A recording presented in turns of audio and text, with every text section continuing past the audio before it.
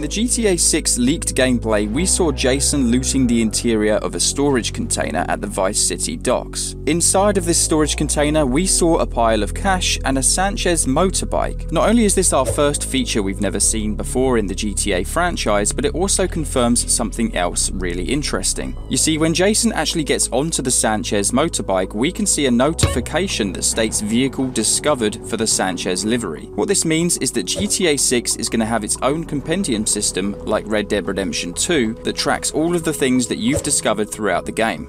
This is also likely to be the case for weapons, animals, and maybe even tourist locations you discover in GTA 6 as well. Number 2 is a brand new looting system. I'd be lying if I said we haven't seen this in GTA games before. GTA San Andreas notably had burglaries, and GTA 5 had shops you could steal snacks from. But these are completely irrelevant once you hear what GTA 6 is going to have. As mentioned earlier, you can now rob storage containers, but there's actually a lot more. During the leaked gameplay, we saw Lucia and Jason Jason exit the diner after robbing it. And once they pass within close proximity of a vehicle, there's actually the option to inspect the inside of an SUV that's been parked up in the car park, meaning we can now loot vehicles parked on the streets and in car parking lots. Not only this, but we can also rob a huge variety of stores for more than just money in Free Roam 2. One notable example in the leaked gameplay was the second-hand antique shop, where we get a glimpse of the returning special Eagle Eye ability from Red Dead Redemption Redemption 2, where we're able to actually light up valuables inside a store that we can steal. Now to back this up even further, in the GTA 6 leaked gameplay, we also saw indications of a car fence and an art fence, meaning these will be specific contacts we can visit in order to sell certain stolen items throughout the world, like vehicles,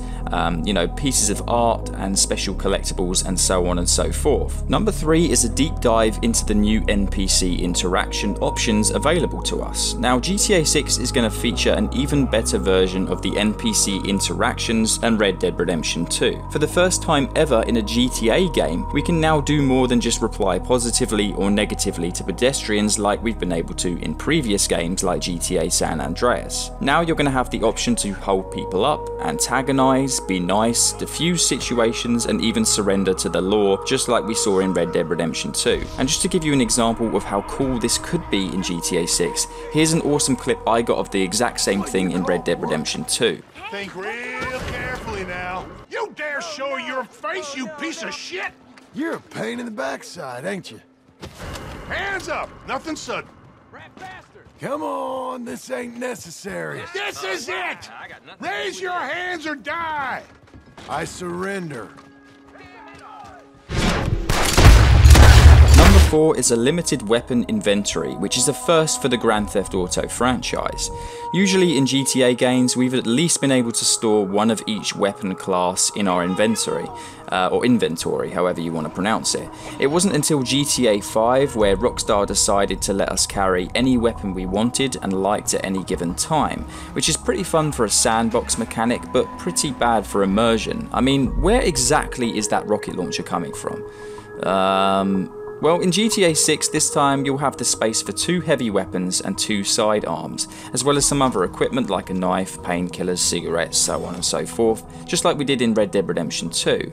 It looks like it will work in a very similar fashion, where we had to actually obtain further weapons, or if we wanted to change the weapons we were holding, we needed to visit our horse. Of course, in GTA 6 we're not going to have a horse, although that is a leaked thing that they're actually going to be in the game and possibly rideable.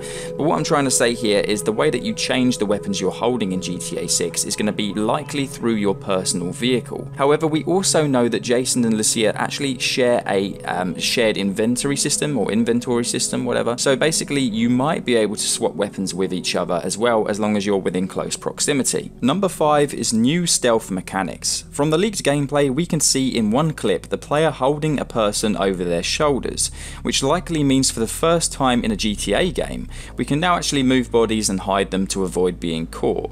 The new AI system points towards CCTV cameras actually working this time, meaning you'll also have to be wary of these too, as the cops can now be alerted of your identity, last vehicle driven, and even your license plate.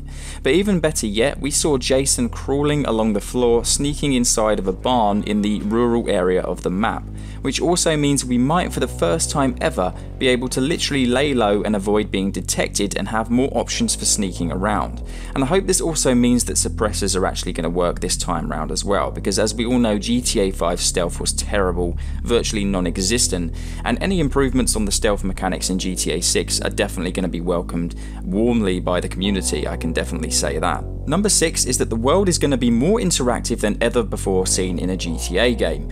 We've already seen in the leaked gameplay the ability to buy gumballs from a gumball machine. We saw during the diner robbery that you now have to loot individual stacks of money placed on the counter instead of them just magnetizing themselves into our inventory like we saw in previous GTA games.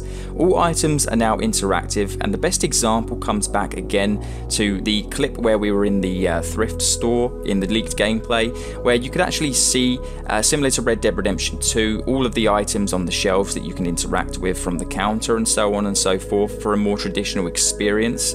So, on the topic of interactive items, how about we quickly touch on some of the new additions in the game that we've never seen in a GTA game before, such as a spear gun, USB sticks, a radar jammer, cutting tools, a slim jim for breaking into vehicles, a vehicle immobilizer bypass, and a flashbang. But there are more items that you might be interested in looking at, which you can see on the screen throughout the moments I've just been talking. Of course, you can pause the video and read them if you wish. As mentioned earlier, looting containers is also an interactive item now, and it means you'll also have to carry a loot bag or a duffel bag to ensure that you've got enough inventory space to carry the items that you wish to be stealing. Number 7 is assets are returning finally with a purpose this time. It's been so long since we've actually had meaningful assets in GTA games. GTA 5 had barely any properties that you could purchase that actually had meaning, but in GTA 6 these assets have something about them that's actually unique to the series. They actually function as money laundering locations. During the leaked gameplay, it was noted that some of the locations on the map had the symbol of a washing machine with a money icon in the middle. Now, if that's not the universal sign for money laundering, then I don't know what is. What this basically means is we might actually have to legitimately wash our cash and money that we've stolen through our businesses before we can actually use it in the game, aka essentially having our own money laundering businesses. And I personally think this actually sounds really, really awesome, and I'm really happy about businesses and assets returning to the GTA series that actually have purpose once and for all. I mean, in GTA 5, you could buy a golf course for $150 million, and it literally did nothing besides giving you a little bit of passive money every now and then. Someone noticed during the leaked gameplay there was an entire apartment complex with each uh, like building and room that should be modeled in the game, which means you can probably enter a huge amount of uh, buildings and rooms throughout hotels and apartment complexes and rob them all. Similar to how we did in Red Dead Redemption 2, but probably a lot more than that. If you enjoy GTA 6 videos just like this, make sure you guys subscribe for more in the future, and I'll see you guys another time.